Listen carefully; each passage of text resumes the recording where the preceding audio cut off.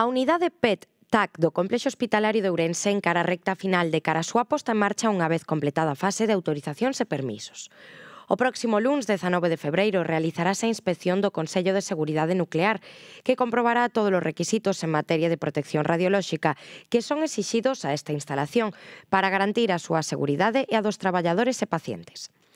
Este é o último requisito para a posta en marcha. En paralelo, a unidade tamén está intensificando o proceso de formación do persoal no coñecemento do equipo, características técnicas e todas as posibilidades diagnósticas que ofrecerá para a área sanitaria de Ourense.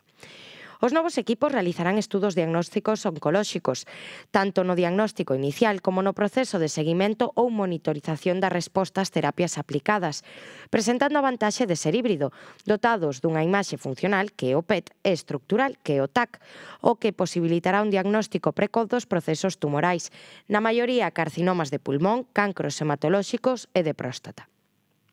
Tamén poderá realizar un diagnóstico de procesos oncolóxicos pediátricos e de todo tipo de procesos inflamatorios infecciosos, como en febres de orixe descoñecida, complicacións con prótesis ou doenzas inmunolóxicas ou avanzadas en probas diagnósticas neurolóxicas no estudo das demencias.